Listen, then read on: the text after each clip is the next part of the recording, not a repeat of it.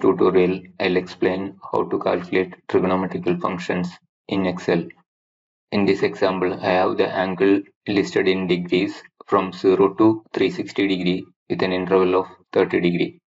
When you use trigonometrical functions in Excel, we need to convert angle in degrees to radians. So to convert degree into radian, you can multiply this angle in degrees with pi by 180 but you have a radian function in Excel, you can directly convert using the radian function. So to convert this degrees into radians, you can type equal to uh, radian, radian, then select the angle. The angle is in this uh, field, so you can select that and close the bracket, enter. So 0 degree is 0 radian.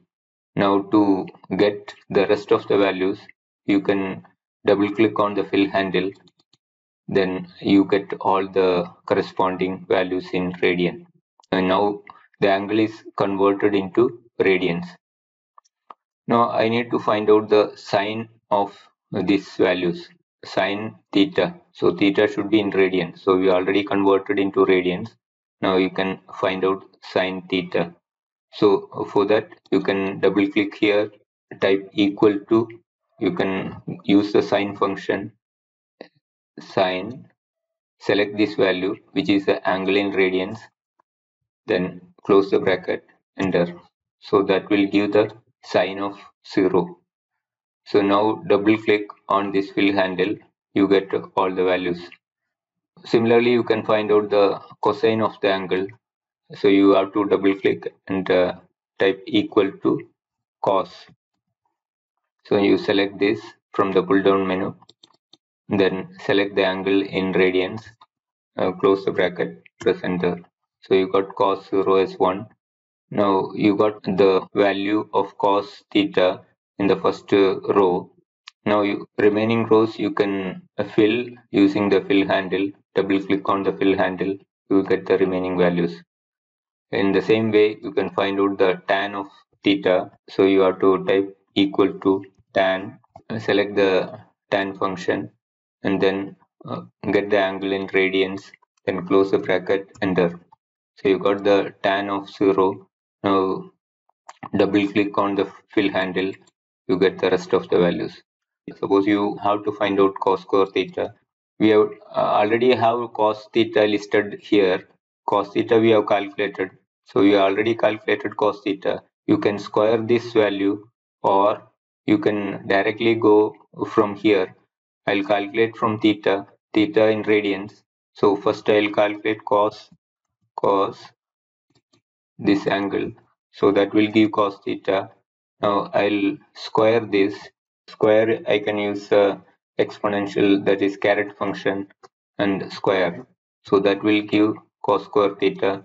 Now rest of the values you can fill it by using the fill handle Similarly, you can find out sine square theta equal to sine sine function angle you select in radians close this and square it square. So that is sine square theta is 0 double click and fill it. Now suppose you need to find out cos square theta minus sine square theta. You can write equal to cos cos theta now square it minus sine select sine theta you once again select theta and uh, again square it. So that is cos square theta minus sine square theta. Now you can find out the remaining values.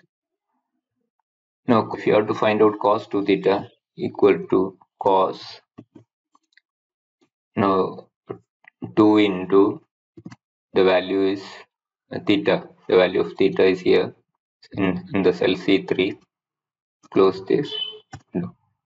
We know that cos 2 theta is cos square theta minus sin square theta. So these values should match. Now i'll fill this using the fill handle. Double click on the fill handle. Now you can see that values are exactly same so I have calculated cos square theta minus sine square theta separately and cos 2 theta separately. As per the formula, we know cos 2 theta is cos square theta minus sin square theta. So this is how you find out the trigonometrical functions. Similarly, if you can also find out the sine inverse, cos inverse, etc., you can use the functions a sine, a cos, a tan to find out the inverse of sine, cos, and tan.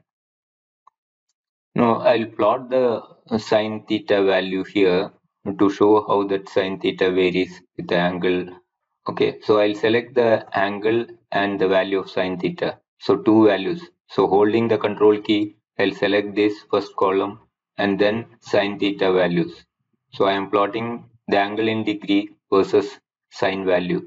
So after selecting that, you can go to insert, select the line graph. So this will give the how that uh, sine function varies.